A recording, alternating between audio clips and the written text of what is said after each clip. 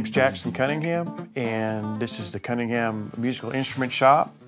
And we're working on a little small body guitar for the Floyd Country Store and the Handmade Music School. This is a project that we started in the fall and began cutting the back and the braces and stuff and getting this stuff all put together this fall. And we're looking at trying to get this done in the spring sometime.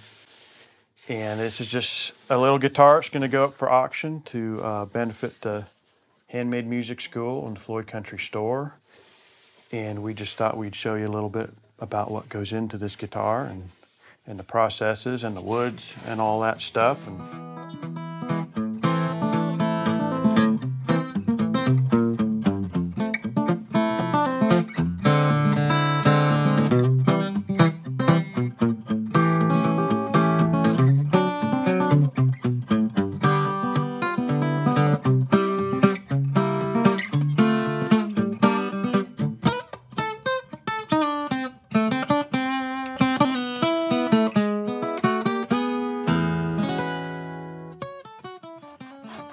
typical early 30s bracing pattern. And right now we've, we've glued these on with hot hide glue, kind of a rough shape, and we're just gonna fine tune the graduations.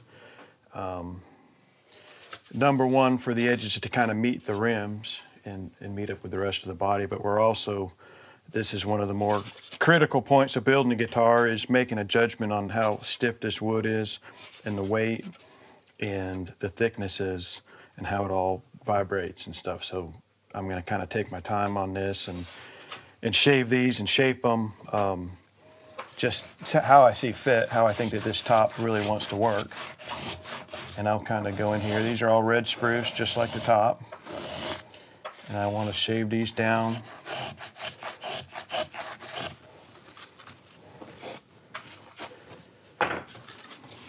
Shave them all down so they kind of meet up. Right. And I don't I don't spend a whole lot of time sanding braces. A lot of people do. I, I mostly do chisel work and, and planes.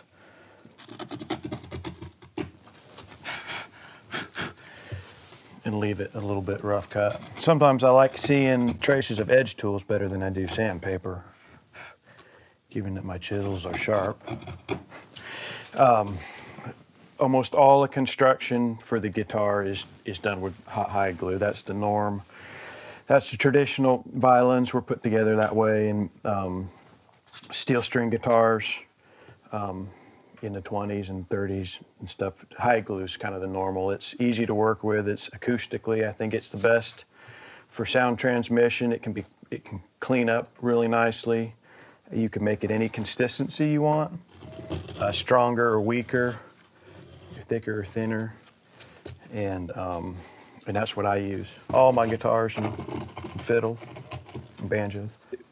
Everything's going to kind of make a difference in tone. You know, the thickness of the top, the, the, um, the braces on how thin they're carved and how, um, how tall and wide they are. Some braces are thicker and lower and some are taller and skinnier. They kind of taper up they kind of get skinny. I like them to be skinnier and taller is what I, I like in a brace. Um, and you can, you just, you basically loosening and tightening the top is what you're doing. You know, you, you got to make a judgment call on whether you think there's too much, it's too stiff or too loose. And you kind of have a starting point with these braces that you saw out in the table saw, and then you, you kind of loosen it up with the chisel. You kind of just blend everything in and, um, and that's kind of um, that's you know one of the big things you get with experience is just building a lot of guitars and um, getting an idea for how they're going to sound. And the brace stock too, you might use brace stock that's you know that's a lot harder and denser than um, than others. And so we've used red spruce, the same as the top on this one. And that's and that's all I've ever used is red spruce on all my braces. I think for most instrument makers, guitar makers, or this is probably like the most, one of the most like artistic and funnest parts of building an instrument. Um, you know, there's a lot of tedious, tedious jobs involved with the whole building process, but I think working with the wood and and something that's so crucial to the sound is pretty, pretty fun stuff for me anyhow.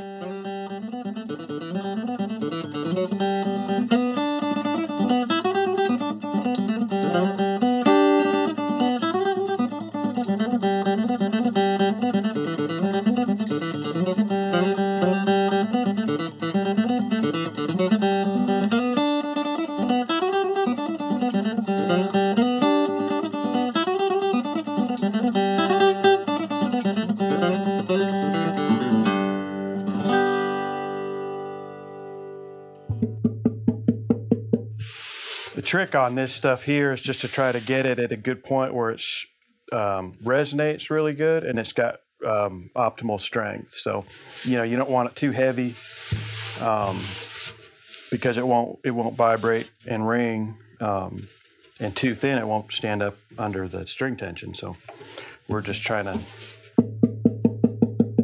I'll tap it and stuff like that. Try to kind of tune it. This one sounds pretty good. It's pretty close.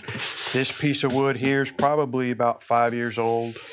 Um, you just want to make sure that it's nice and dry before you turn it into a guitar. I helped harvest some of this stuff. It's from the mountains in North Carolina. You know, all my musical heroes and stuff played, you know, I mean, Martin, Jan Gibsons, and lots of traditional and locally built instruments as well. But um, that's kind of the main reason I, I build these things because of the music. That's what it's inspired by and stuff. And um, you know, when I first got into building this stuff, it was too expensive to buy my own guitar. So I just figured I'd try to make one. And when I settled here about 15 years ago, I started um, meeting people in the community and realizing that there was, I mean, there was instrument makers all over the place out here. And just like the music and the musicians, there was um, people who were willing to help me and um, get me started and um, everything from showing me secrets to, to building to um, giving me tone wood that they had and um, just a real supportive uh, community of people and encouraging um, to keep the tradition going, you know, to hand it down and make sure it doesn't die out.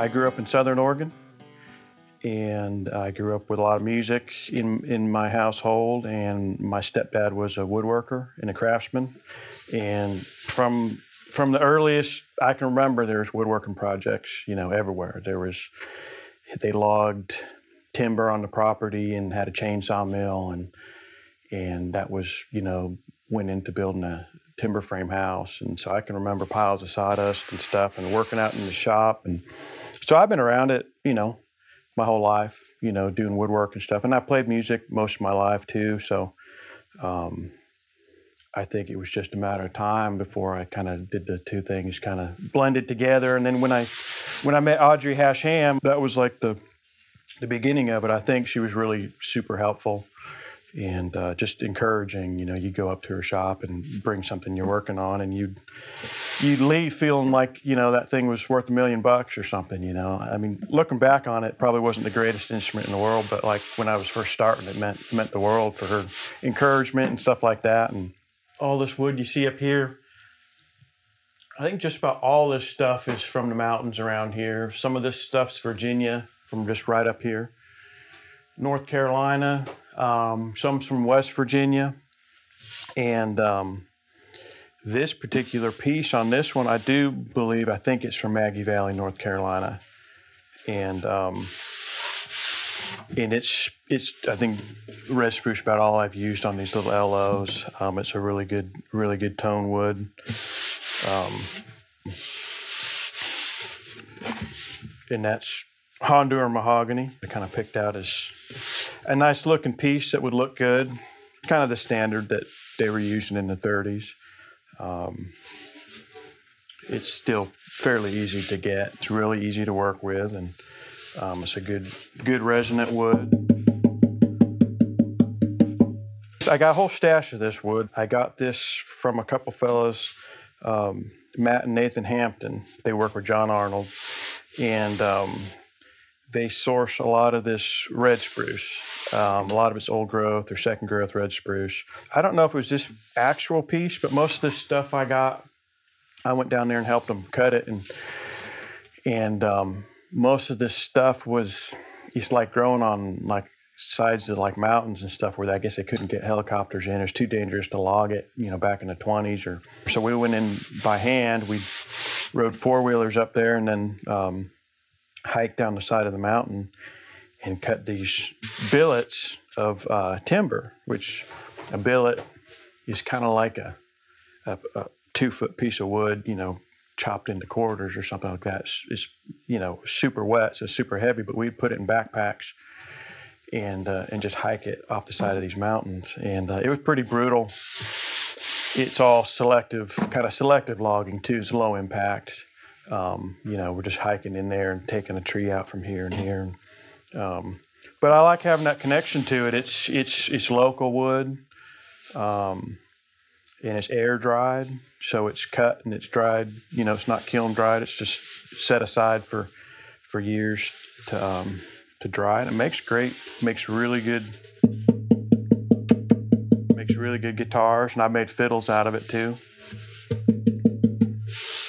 So, um, so now we're gonna we're gonna take this uh, mahogany neck, and I've already done kind of fit this fit this in already, but as you can see here, you kind of just I got it roughed out and um, and fit to the body here.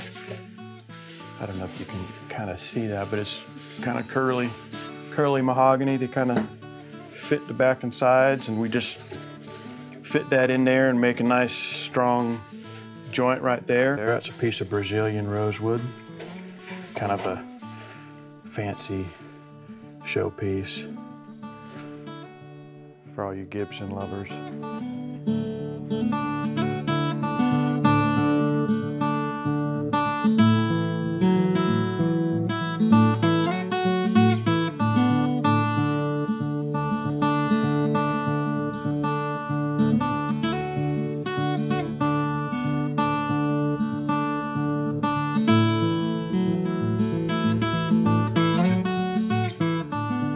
Rosewood fretboard there, and so we'll we got that nice and fit in there.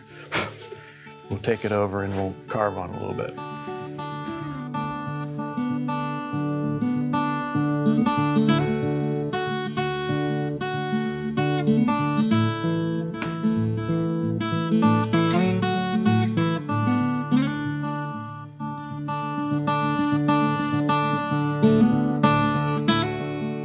A neck like this, typically what I do with a with a customer who wants a, you know, somebody orders a guitar or something, a lot of times, like I said, they could go out and buy an old vintage guitar, but um, really to personalize it, the main one of the main things that they're going to ask for is the neck to be exactly how they like it. So I'll get like a set of measurements from somebody. I typically ask somebody just to measure a guitar they really like on the neck and just measure the, the dimensions of it, how wide it is, how thick it is. Um, and then I got like a series of a series of little templates that I use uh, for different guitars that I've copied them from, you know, heel templates and stuff like that that I've that's off a 1933 L5. All sorts of stuff that I use to get that to get that just right, and then I'll um, typically just try to get a measurement down here and get another one up here. Um, and just start and start working it down until it feels until it feels like it's right you know? Whether somebody wants a v-neck or they want a c profile or um, they want a, a thicker on this end you know it's just that's all super personalized and custom stuff. I've got kind of a standard slight V that I do that I feel is real comfortable for most people. And then, you know, somebody could go buy a 1930s guitar if they wanted an old guitar, but if you want something that suits your hands just perfect, you know, if you have trouble finding an old old guitar that just, you know, oh, I love the sound of it, but the neck just doesn't feel right, you know, that's I think one of the reasons why you have somebody custom build you an instrument because we can do the neck exactly the way you want it. So this one, I'll probably do like a standard slight V. So this stuff, I mean, this is stuff is kind of what I enjoy the most, the woodworking aspect, building guitars. It's kind of like the rough framing or something. You can really make progress real fast and you can really see it.